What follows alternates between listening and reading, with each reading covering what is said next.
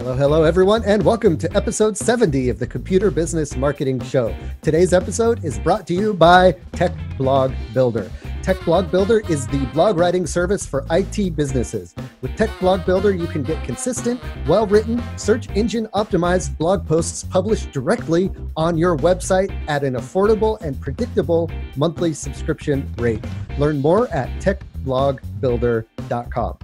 On today's show, we have LinkedIn ad expert AJ Wilcox to explore the world of LinkedIn ads. We'll learn how LinkedIn ads differ from Facebook ads, how to make the ads get clicked, and how to target the right clients on LinkedIn. Plus, Paco shares some insights on how he's automating his customer scheduling and onboarding process. And we have a tech site builder question of the week about what content you should be putting on your homepage all that and so much more coming up right now.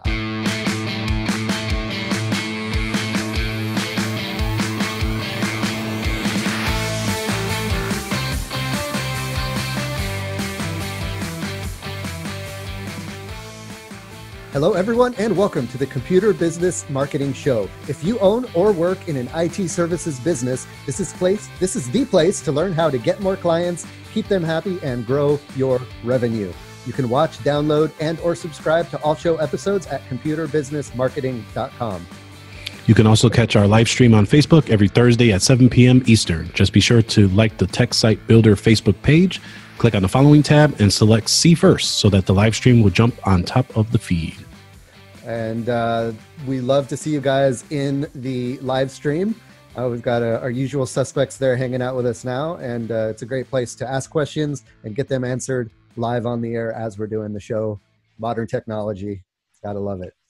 So, uh, our topic for today is going to be all about getting the most out of LinkedIn ads. So, uh, previously on the show, we've talked about you know Google ads and AdWords, Facebook ads, um, other kind of advertising and marketing. And today we're going to focus on LinkedIn. We have in the past talked about LinkedIn as far as just a platform for generating leads, but now we're going to dig into uh, the the advertising side of LinkedIn a little bit more and uh, figure out you know uh, how to best utilize that and and see if it's a right fit for for our businesses.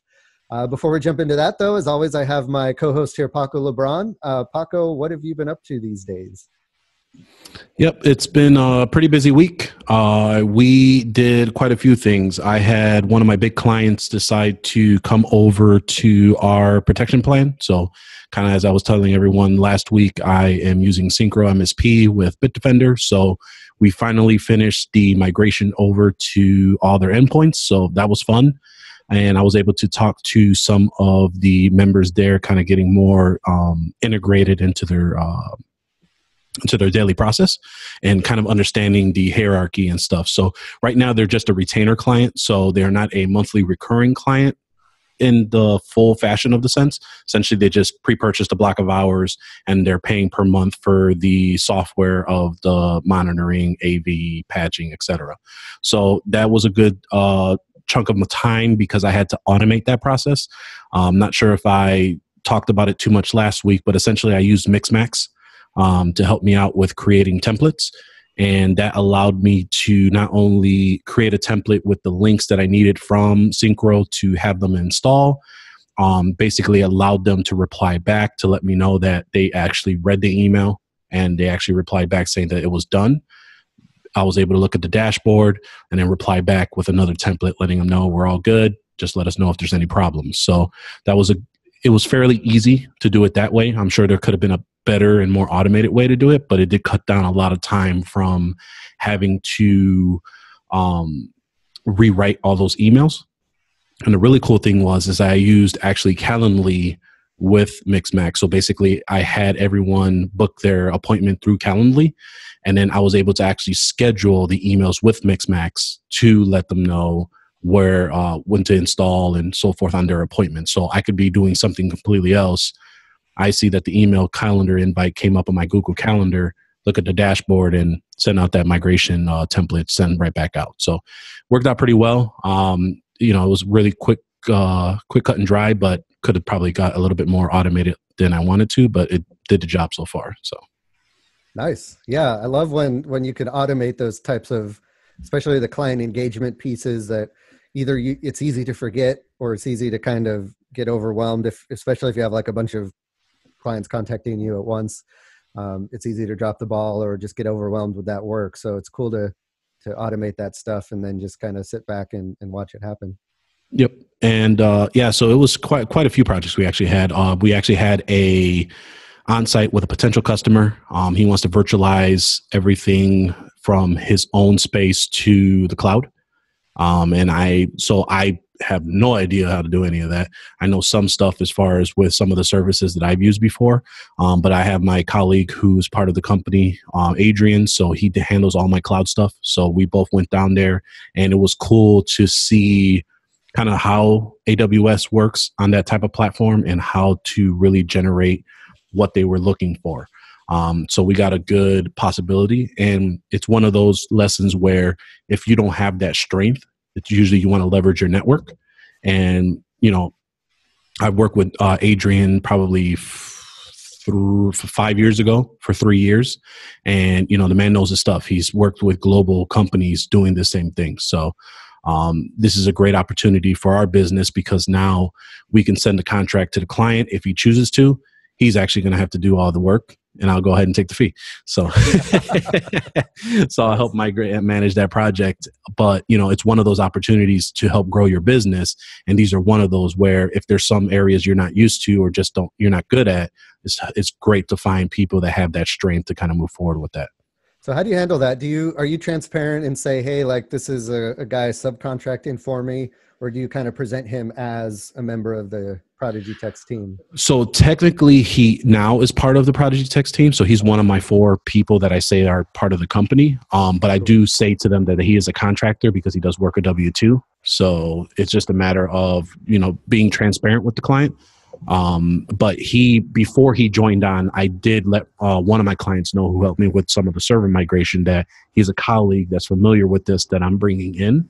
Um, but I had officially brought him in. You know, he's under our domain, has the email, represents the business. So, um, but we do introduce him as part of the company, but as a contractor for us.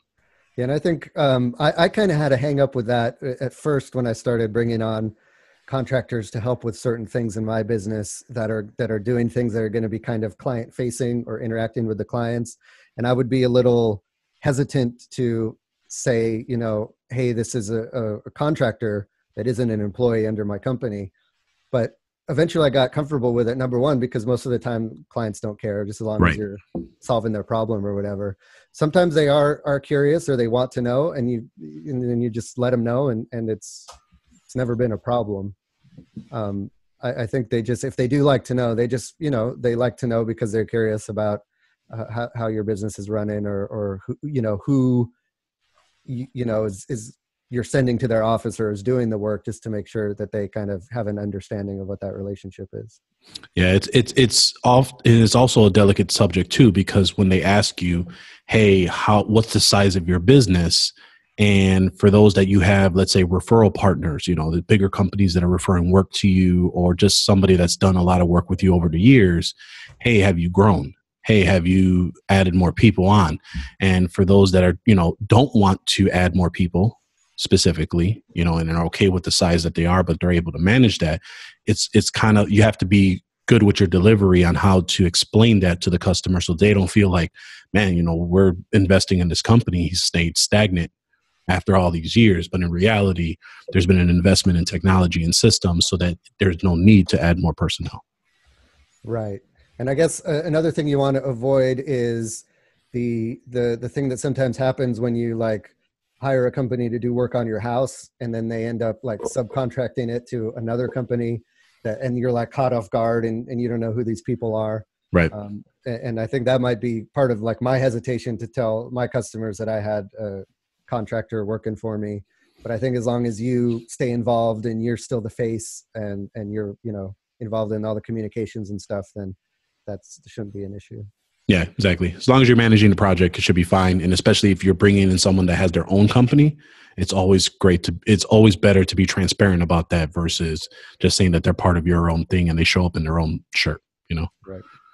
Um, yeah, so that's kind of uh, how our uh, week has went. We did take over a network that had a couple of Ruckus devices, um, so it was a little bit of a learning curve for me because I've only dealt with uh, other brands like OpenMesh, Arachnus, and you know it was a, it was a good learning curve. It was I was able to determine a lot of their Wi-Fi issues, and it would turn out that it just happened to be on some really old firmware.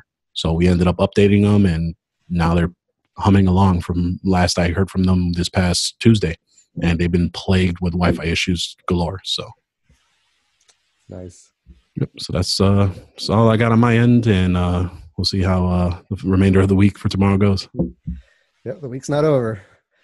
All right, cool. Um, so before we move on, just want to remind you guys about the Computer Business Marketing newsletter. Uh, you can get that in your inbox every week, and that is a weekly newsletter that uh, will give you the latest, uh, the link to the latest podcast episode, as well as uh, a curated list of some marketing news and blog posts and content from around the internet that we curate specifically for you guys uh, that we think you guys will enjoy. And then we also give you the latest uh, posts from the Facebook group.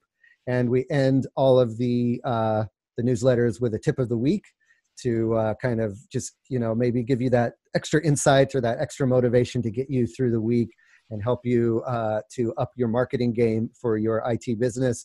You can sign up for that for free. Just head over, head on over to computerbusinessmarketing.com and there's a form right there at the top of the page to sign up for the newsletter. All right. Um, so Paco, uh, let's see. Do you have a question for me for the Tech Site Builder question of the week? But I do. So Tech Site Builder question of the week is when creating your homepage. And obviously, we want to try and get as much relevant information to our potential customer. Is it best to have one long page with a bunch of stuff and you have as they scroll down to kind of figure out stuff? Or is it best to have just one pane where you basically once they get onto the website and then have links or boxes or buttons whatever it may be to get to other sections creating another step in that funnel per se to get what they're looking for? Yeah that um that is a question that i don't really have a strong opinion on honestly. Okay. Um, it's it, there's pros and cons to each approach. Um, I kind of like having uh, I, I kind of like doing both. So I like having the homepage being almost a summary of all the different areas of your website.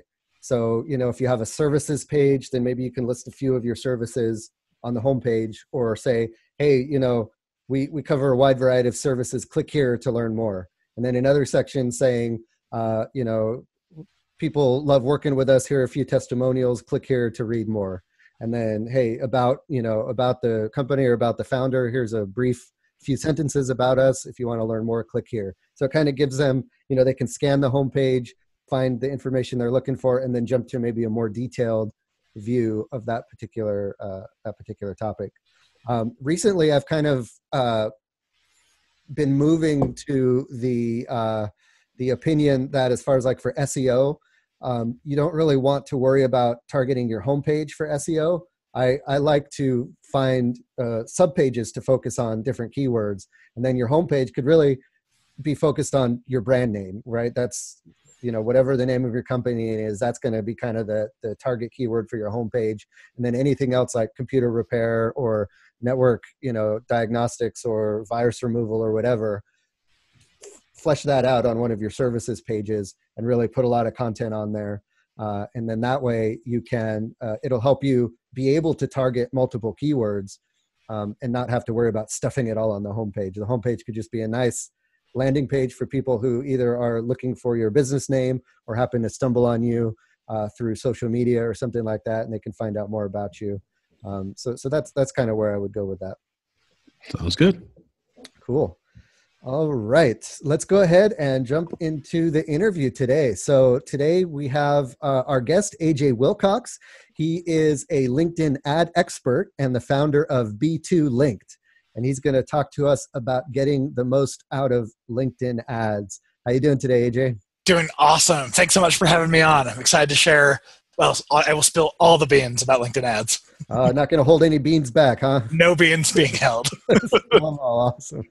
All right. So uh, before we dig into LinkedIn ads, why don't you just give us kind of a, a brief uh, history of the man and what uh, brought you to the point where you are today? the man, the myth, the legend. Uh, yeah, so I've been doing digital marketing for about the last 12 years. I started out life as a, as a little SEO guy and learned Google Ads, um, really fell in love with that. And then I, I went to a company about six years into my career where uh, on my very first day, I went and talked to the CMO and I laid out all of my marketing plans. And she was like, okay, all that sounds great. Go ahead and execute. But just so you know, we started a pilot using LinkedIn ads. So see what you can do with it. And of course, I saluted and said, yes, ma'am, absolutely. And I walked out of her office and went, what have I gotten myself into? I've never even heard of LinkedIn ads. And of course, not wanting to look like an idiot to my brand new boss, I went and dove into the platform.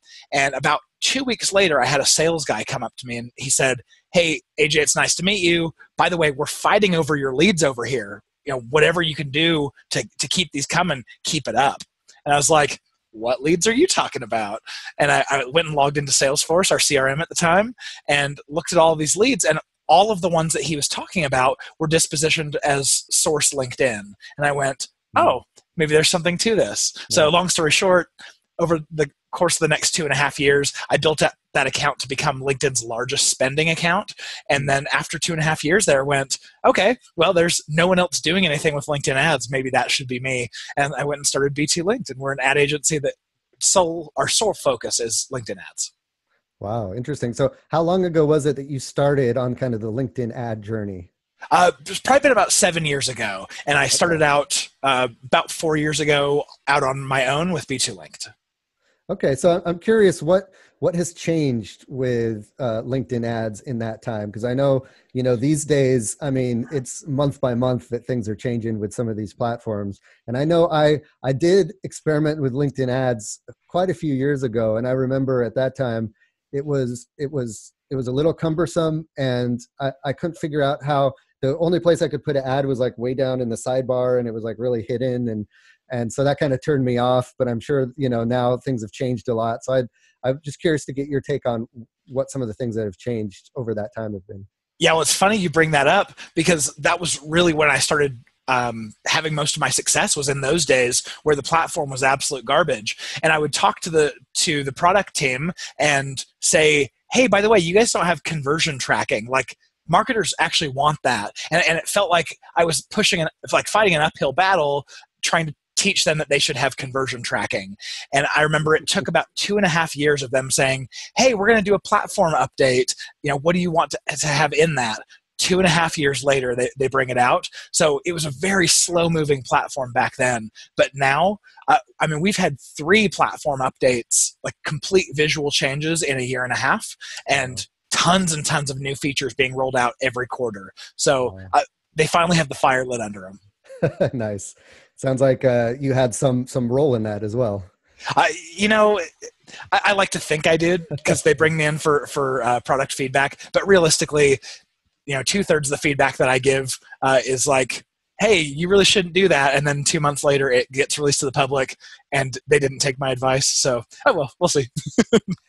right. So, um, coming at it from like my perspective and probably a lot of our listeners perspective of folks who really haven't done much with linkedin advertising but maybe have dabbled in google ads and facebook ads what are some of the key differences for, uh, between linkedin ads and some of those other ad platforms yeah, so if you're talking about Google Ads specifically, it's very search focused, which means there's an intent coming into the query.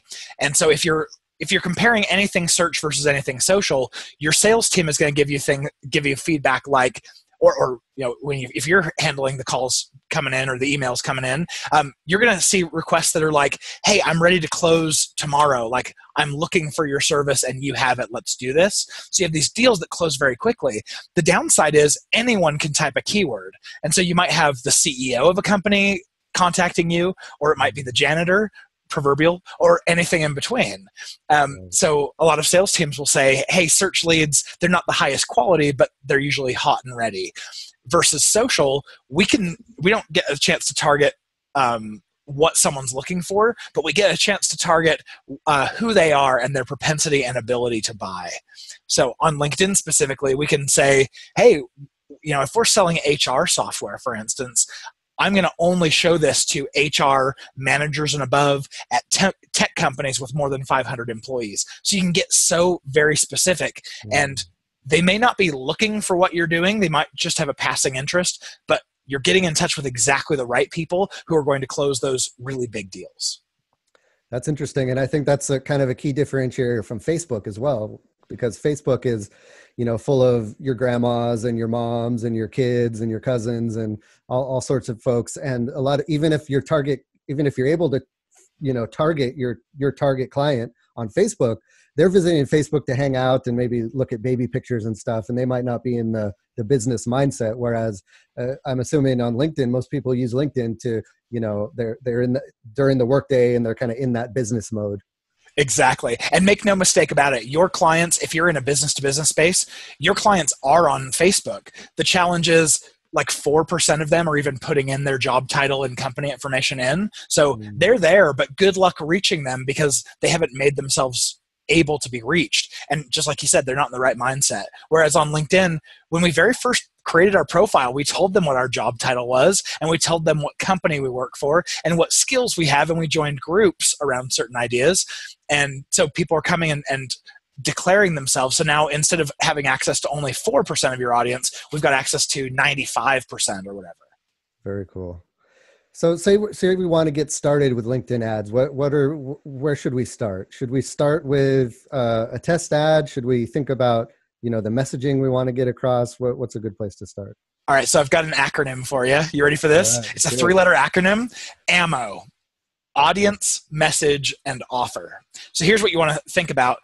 LinkedIn is beautiful for the targeting. So the A, the audience, is pretty easy to define. You can define them by their job title, their seniority, their uh, groups they're members of, skills, industry, company size, all of that. It's, it's pretty straightforward. Your M is the message. So this is how they actually see the ad. Um, you know what the image you used was, what your ad copy was. More or less simple. I mean, you don't have to go crazy on an image, and your ad copy is essentially distilling down whatever you're offering to someone. So again, no big deal. Um, you can pull that together no matter who you are. Oh, the offer is by far the make or break. It's the most important part of any campaign. Mm. And the reason why is because if you put an ad up there that just says, here, this is what we do, talk to our high pressure sales rep, no one has any reason to click that ad. They weren't looking for you, you're just bothering them. And Right. so that ad is not going to get a very high, what we call relevancy score. If you- you're used to Google, uh, a quality score, it's going to get a bad relevancy score and it's just going to go away. LinkedIn's going to say, hey, we can make more money showing someone else's ad. So yeah, what, what you want to do is have an offer that is truly attractive, something that either solves a big pain point for your audience or satisfies a major curiosity. And if you can give that to them in some format where they're willing to give up their personal information for it, like join this free webinar or download this free ebook or guide or checklist or cheat sheet, something like that is, uh, you know, if it's valuable, people will be willing to submit their information, and then you can then use that information to follow up with them and start a conversation and relationship, and hopefully a certain percentage of those, a certain percentage of those turn into deals. Right, and that sounds like um, you know uh, the the LinkedIn ads are not the place to say, you know, hey, buy my service for X number of dollars. Click here. It's it's uh, more a place to you know have like you said free offers or webinar offers or you know learn learn learn more or get this download or something like that to get folks on your list where then you can uh, continue to um, you know curate that uh, that relationship and build that relationship with them Yeah, it's totally an, a a relationship play, not a transaction play. Yeah, and it's I mean, and one of the pieces that that I want to highlight that you said was a lot of us always try to make sure when we hear make an offer, we always have in our mind that it has to solve a pain point. But you made a good point on saying not only a pain point, but to help trigger their curiosity. And I think that's a big point that I want to highlight on that one because a lot of us are really trying to figure out, okay, how do we solve pain points? But if we can get them curious enough to click on it, that could be equally as successful as well.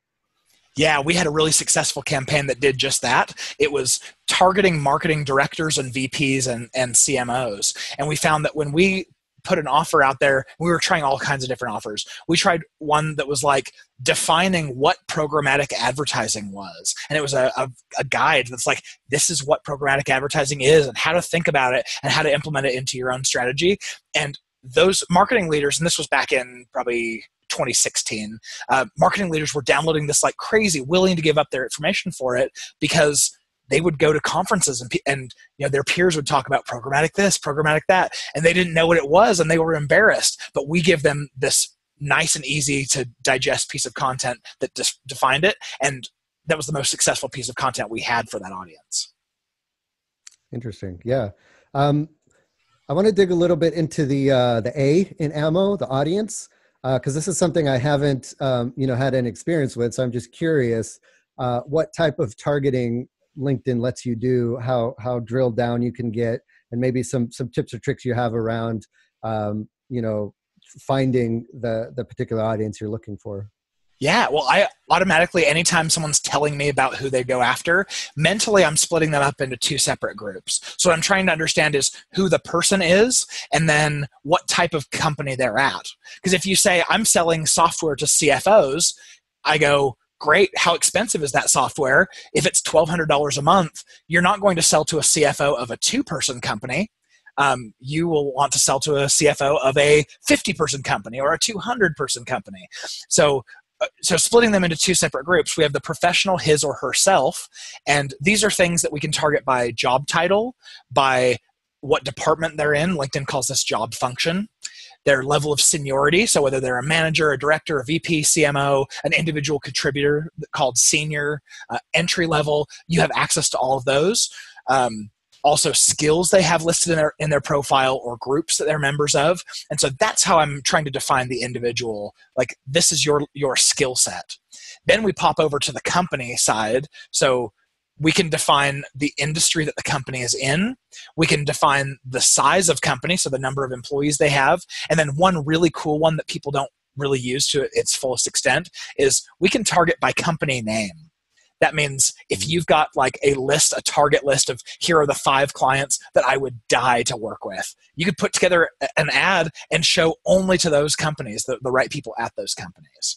So nice. you define who they are, you define uh, the type of company that they're at and then you have a fun a bunch of other stuff too like what school they went to and the degree they got and uh, their gender and geography you have all these things that you can layer on top but those are the two main things who they are and what type of organization they're at now is there any advantage to using the sales navigator that linkedin pushes or can you get away with using just linkedin's built-in functionality Ooh, great question. So this this answer is going to change uh, at some point. Right now, there's no integration between Sales Navigator and LinkedIn Ads. So um, if you're willing to pay LinkedIn ads prices, then you get access, full access to their entire audience, the entire suite of tools. And having Sales Navigator is not either a, a, benefit or a disadvantage. However, in the future, I don't even know if I'm allowed to say this, but I'm going to. Uh, if anyone from LinkedIn's listening, just please don't hurt me. Um, uh, in the future, they're going to have like a direct connection between Sales Navigator. So if you have a sales team who is adding specific profiles to to an audience, you can then show specific ads to that audience. So that's coming. I, I it might be quarters, months, maybe even over a year, but that kind of functionality is coming. Gotcha. I can see that being super powerful when, when that rolls out. That's going to be a game changer for sure. Yeah, I mean, I haven't been to an organization yet where marketing and sales aren't butting heads somehow, and this mm-hmm. really puts it together. It's like sales. If you want us to show ads to the right people, add them to the audience, and we will go after exactly who you're trying to define. So it, it this could be a bridge build between both departments that are oftentimes fighting. Now, are you able to retarget with LinkedIn ads? Yeah, the retargeting on LinkedIn is quite frankly very weak. Uh, it's cookie based only, and iOS devices don't carry cookies. So immediately half your audience is, is incapable of being retargeted. Mm-hmm. Uh, but it does exist. Uh, there is a slight discount off of your cost per click when you're using it. So there's no reason not to. Uh, but what I do recommend is your traffic that you send from LinkedIn, you know who these are. These are the most highly qualified people that you want to work with. Make sure that your Facebook and your Google retargeting are picking them up. Those platforms have a better technology. They're more um, more pervasive. They will reach all the way around the net and all uh, um, and all the way around like most of the social channels your prospects are using, which is Facebook and Instagram. Um, and they'll do it for a, a much lower price. So make sure you send the right traffic from LinkedIn and then really nurture it through your other channels for a big discount. Makes sense. I like that. Uh, all right, let's jump over to the to the M in ammo message. Uh, just you know, really quick. Um, like you said, that you know, this is kind of up to the individual business and and you know your personality and stuff. But is there anything you found over your time that you've spent uh, creating LinkedIn ads, uh, as far as images to use, or you know, wording, or you know, some people like throw in little emoticons and stuff in there. Anything that kind of helps uh, get more clicks. Yeah, so first off, LinkedIn has four separate ad units that if you go and log in, um, you'll get to choose one of four formats. So the one that we kind of jokingly referred to earlier, those are called text ads. They show up only on a, a desktop machine, so not on your mobile. They're over in the right rail, and it's a three pack of ads, a little square that's 300 pixels wide by 250 tall, three little like micro ads inside, and the cool part about this is really that it's desktop traffic. If you have a landing page that's not mobile friendly, this is the best ad format to use, and it's mm. also the least expensive way to use LinkedIn ads. Uh, you'll you'll pay you know usually between three and five dollars per click, and um, and you can pay all the way down to two. So that's text ads. That was the first one that came out. Then in 2013, LinkedIn came out with their user feed, that was very similar to what Facebook had pioneered. And now, because we have a user feed, we have sponsored content, so a a news feed ad. Um, these I still call their Halo ad unit. This is what we recommend for 95% of advertisers to use is using sponsored content. Your cost per click is going to range somewhere between about six and nine dollars, uh, which is much higher than say Facebook, um, but it's it's an ad unit that is built for sharing content. So if you've got a, a white paper, a webinar, an in-person event, something you're you're introducing, this is exactly the right ad unit for you. Um, then a couple years ago, we got sponsored InMail. So this is not like the other ones where you pay per click, mm. but this one you pay per send. So you you pay it's usually 35 to 85 cents to send it to someone's inbox. It mm-hmm. only arrives when they're active on LinkedIn and logged in and, and all that so they can see it come. Um, and this one I probably only recommend about you know 5% of advertisers use uh, just because it, it really should feel like your offer should feel like a personal invitation if it's coming in the form of an email. Otherwise, it just looks like spam. Uh, and then actually this week, as of recording, we've got a new ad format, and it's called uh, dynamic ads. And this is one where you can actively put the the person who you're advertising to it sticks their face in with another mm. picture you have and a call to action so oh, cool. can be a little bit creepy to be like wait how, why are you using my face in your ad uh, but when people understand that it's it's all dynamic um, we usually have a little giggle about it and they'll they'll they'll draw their eye to it for sure Yep, that's what they like. So, uh, yeah, in terms of like what types of ads tend to work, you want to use images that have a contrasting color scheme. So, LinkedIn, just like Facebook, is very blue, gray, and white co- color schemes. So, if you can use accents that are red, purple, green, orange, yellow, those are going to help your image stand out. And what that does is it gets people to actually look at your ad copy. So now the onus is on you to write ad copy that actually gets people interested in what, what you have. Um, we've also noticed that when you're you're sharing different motivations in your ads. You can try fear based, like if you don't do this, something bad's going to happen, or you can have aspirational based, like uh, you can look like the hero if you do this. We found that aspirational messaging works way better than negative messaging on LinkedIn. Every once in a while, we find you know a, a case where that's not the case. But um and then we also found sense because you know linkedin is an aspirational place right? You're going there to true. improve your career or try to you know network with more people and and and climb the ladder. So i i can see where where that would be uh that would work better there Totally. And then uh, the last piece of advice I have is keep it short. We've tried lots of things where we try to be like double meanings of words and get cutesy and uh, that kind of thing. Um, it doesn't work. People are are moving with speed through LinkedIn because they, they've got a mission in mind. So make sure that it's you're telling them exactly what you want them to get out of it. It's short and it's sweet, and they'll reward you if it's bite sized and consumable. Great. So, uh, what are some other tips or tricks you have for us, kind of LinkedIn ad newbies? Um, that, uh, or or maybe you know, once we get started, what are some things we should be looking for as we're trying to optimize our ads and get better return on investment? Yeah, well, what you want to look for is, uh, in my mind, I think of this as hurdles. So, your very first hurdle you've got to get people over is can you get people to look at your ads and want to click? And if you if your click through rate is high enough, uh, to give you an idea, sponsored content is probably where you want to start. It's the biggest ad unit and the least expensive for the amount of volume you can get.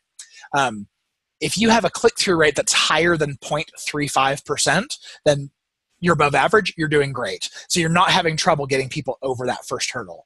Um, so yeah, that's, that's hurdle number one. Hurdle number two is you're getting enough people to your landing page or to your offer or to look at your form, but if they're not converting, they're having trouble getting over the second one. So based off of where you're seeing troubles, if, if it's the first hurdle, you can change ad copy, try a new image, try changing maybe to something more aspirational in your message get them over hurdle number one. Hurdle number two, if they're not converting, maybe your offer isn't attractive, maybe your landing page sucks, um, or maybe some combination of the two. So figure out where your issue is and you know tackle the metrics or, or tackle the things that affect those metrics. I know a huge pet peeve of mine in my own ad ex- clicking experience is when I click on an ad and then when I arrive on the landing page, then the landing page is not congruent with the ad I just clicked on.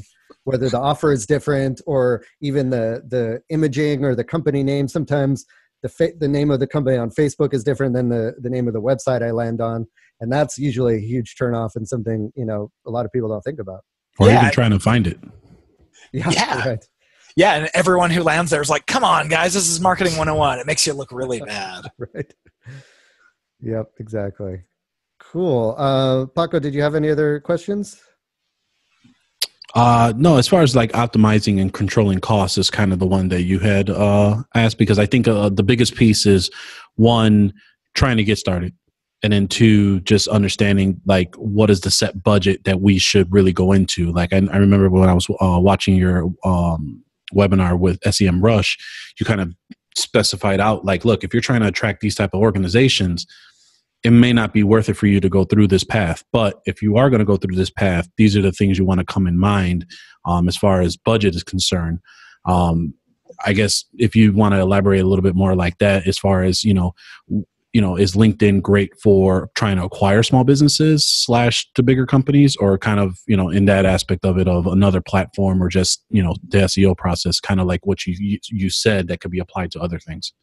Love it, Paco. Yeah, th- this is uh, a really important point about LinkedIn ads is when you compare it to other platforms, it can seem very expensive. I mean, I, I told you some of the quotes on this cost per click where you know you could be paying three to nine dollars there are some people paying even you know 11 12 dollars a click and that is really high if you're used to maybe much of Google Ads, and basically anything on Facebook is going to be less expensive than that. Um, this isn't normally a challenge, but what it means is you've got to have a large enough return on your investment or a large enough deal size on the back end to make paying that much for traffic up front worthwhile. So the line in the sand we've drawn is if you're going to make $15,000 or more from the lifetime of a deal, then LinkedIn ads make sense near 100% of the time. If you if you stand to make much less, maybe LinkedIn ads is going to be too expensive for you. Maybe they've just priced themselves out of the market for your business, uh, but it may be worth considering. As you're planning your budget, you can plan your daily budget caps uh, in LinkedIn just like you can Facebook and Google. So if you say, "Hey, my budget this month is $3,000," you can go into your campaign and say, "Don't spend more than $30 a day or set it where I can't do maths, but uh, you get the idea. Uh, set a daily budget cap. Um, yeah, does that answer the question pretty well? Yeah, and I think you know to drive it home too for on the on the question is for everyone to actually try it out, right? Like look at your look in your area, how much Google ads are working, how much is going to be the Facebook ads and LinkedIn ads. So for me, I'm from I'm in downtown Chicago. I'm in the West Loop, which is a very high popular area for my area, it's $100 a click for Google Ads. So in that case, and for the specific term of IT support, MSP, etc. So I'm not throwing $100 on a gamble of a click. Whereas in LinkedIn, I can gamble five clicks, six clicks, and hope that one or two are going to hit if I have the right, you know, ammo being able to get them to come and convert.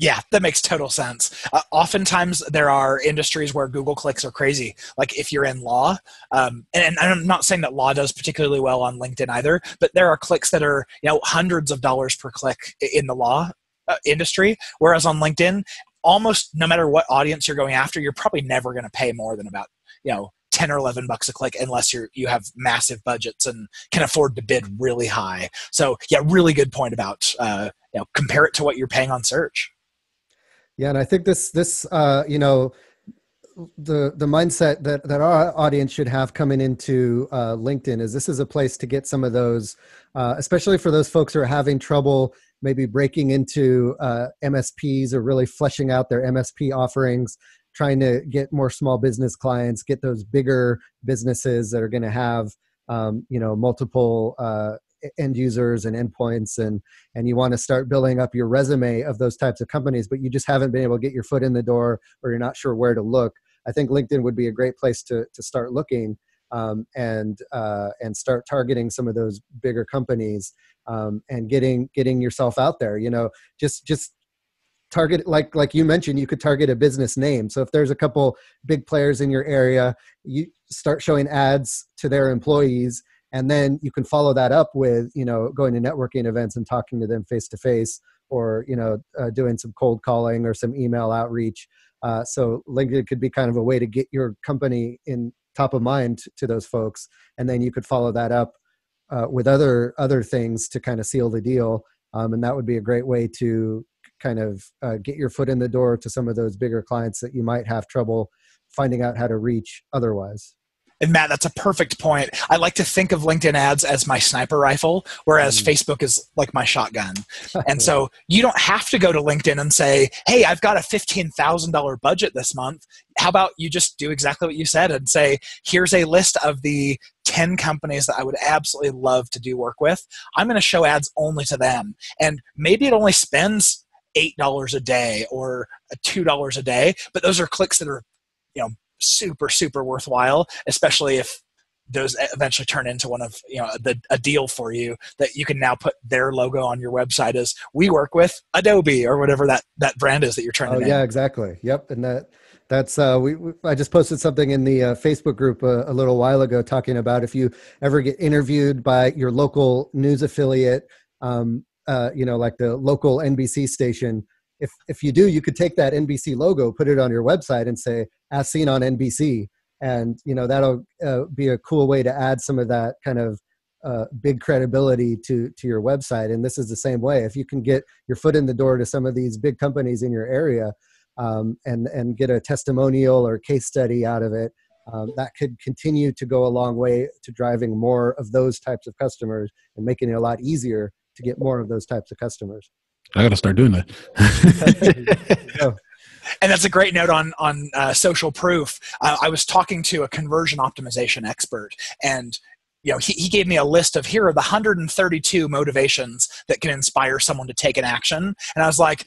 Eh, cut through all those 132 what's the best what's the most important and without fail it's social proof. So mm-hmm. if if they can see you've been featured on the news, oh, and you've been um, your clients are X, Y, and Z brand that they recognize, instantly you're going to have a two, three, four times higher conversion rate and a probably that high of a close rate compared to if you didn't have anything.